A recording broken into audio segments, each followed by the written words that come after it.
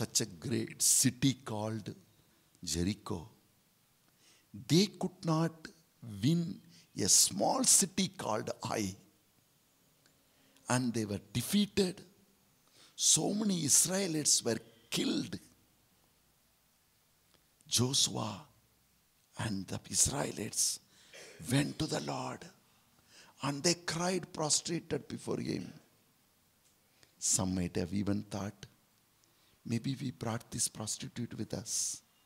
Maybe because of that. No, the Lord said no. The Lord said, There is a man. So they brought the Lot in the presence of God. And the name of Achan came.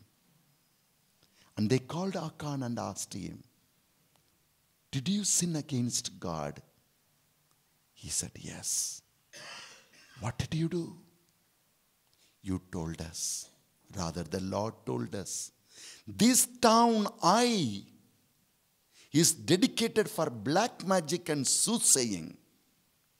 Our God not only delivers his people, but also destroys the power of evil in the world through the people who keep God in the secret of their hearts. If the evil in the world has to be destroyed by people who keep their God in the secret of their heart. If something else is replaced in the place of God, instead of secret of God, in the secret of your heart, if you keep sin in secret, you have relationships of sin in secret. You have desires of sin in secret. That sin will destroy you. If you don't keep the Lord in the secret of your heart, the sin will find its place in the secret of your heart. When you keep secret, suddenly you go out, close the numbers. You don't want to talk in front of everybody. Go somewhere else secretly. It's a sign sin is ruling you. Secret sin, secret relationship, secret desires for hunger for lust, lust for power, lust for money, lust for standard position, lust for flesh, lust for name, lust for fame. It can be anything. When the lust rules your heart, in the secret of your heart, you find that will find you one day, that will catch you one day, and will make you zero, and it will humiliate you. Satan is after us not only to stop us to grow in the Lord, but also to be destroyed with his strongholds, to be destroyed with whatever he has. He has sickness, he has hatred, he has anger, he has depression, he has everything of the evil. And he wants to fill you. So, what is in the secret of your heart is very important. What is this? What did Achan do when he went to the town?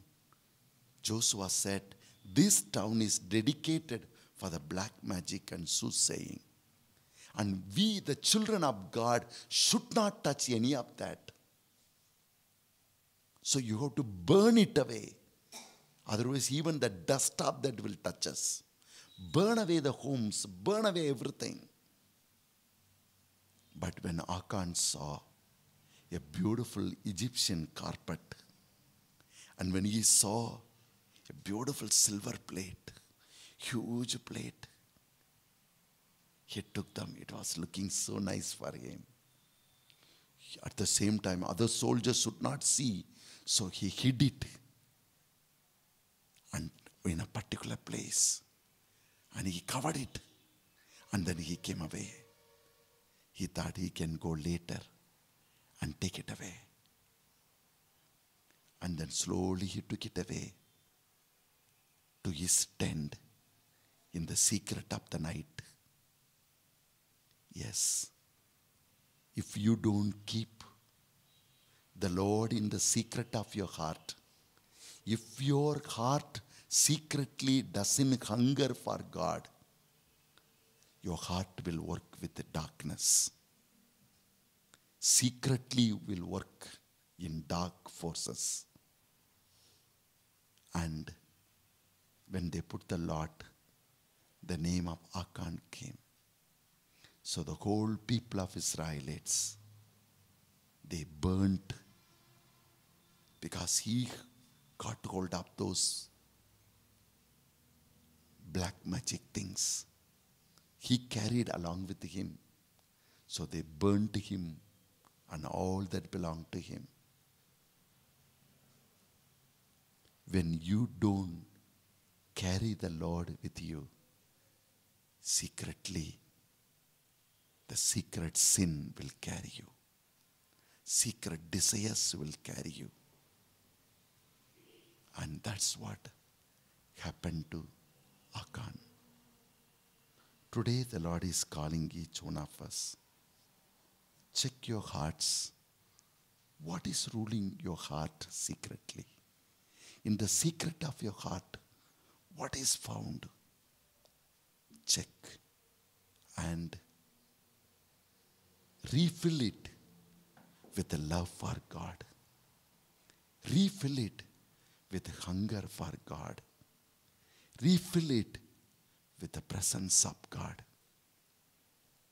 Yes, because if you don't fill with the love and presence of God, the hatred and darkness of the enemy will come over you. Remember that God's love for you. We read in the book of Genesis, chapter 1, the whole world was lying in darkness. The whole world was lying without shape. The whole world was shapeless. In that moment, the Bible says, the Holy Spirit was roaming around. It was just sitting over, hovering over. The word used was inhibiting over, like the hen that sits over the eggs to bring life out of it. Yes, wherever there is darkness, the Holy Spirit comes and does it, it sits over, hovers around, because the people who are his children, who are caught up in certain darkness, should not be destroyed. So, though the darkness covers us, though it makes our life a shapeless, we are not, not left all alone. The Holy Spirit of God, who is known as God of love, which we read in the book of Romans chapter 5, verse 5, that God of love fills our hearts with the power of the Holy Spirit. God's love is taken control of our life through the love of God, love of the Holy Spirit. It is the Holy Spirit of God fills our hearts with the divine love. Yes. So the Holy Spirit, we read, when did God say, let there be light? When did God say? On the first day. First day, God said, let there be light. And the darkness disappeared. The light came. But when did God create sun, moon, stars? Huh? Fourth day. So the first day till the fourth day, who gave the light? Huh? Sun is created only on the fourth day. The stars came only on the fourth day. Huh? The light of the Holy Spirit. The Word of God. The Word came. Let there be light. When the Word of God came, the Holy Spirit brought light. And that light governed four days.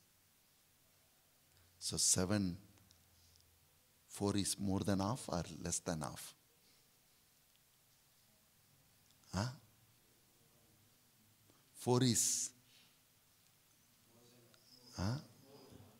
So, more than half of creation days were lighted by Holy Spirit. So in every, that's why when you look at the mountain, your, your eyes will be there only. Why? When you see the sea, your eyes are gone somewhere else. When you see the birds and the sky, your, your eyes are gone. Why? This particular type of creation attracts you because they are, when they were created, the light of the Holy Spirit was there. More than light of the world, the sun, moon, they all came later. That's why your heart, as soon as you see the sea, you feel like watching it. As soon as you see the water flowing, the mountains, the flowers, the skies, the birds were all created in these days. They attract your soul, they attract your heart. When you see a bird crying, shouting, or making some noise, you just stop and look at it. You have seen birds so many times, but something is happening to you in the secret of your heart. The Lord is, your heart hungers for God. And that's why St. Augustine said, My heart is restless, O God, until it finds its rest in Thee. My heart is restless, O God, until it finds its rest in Thee.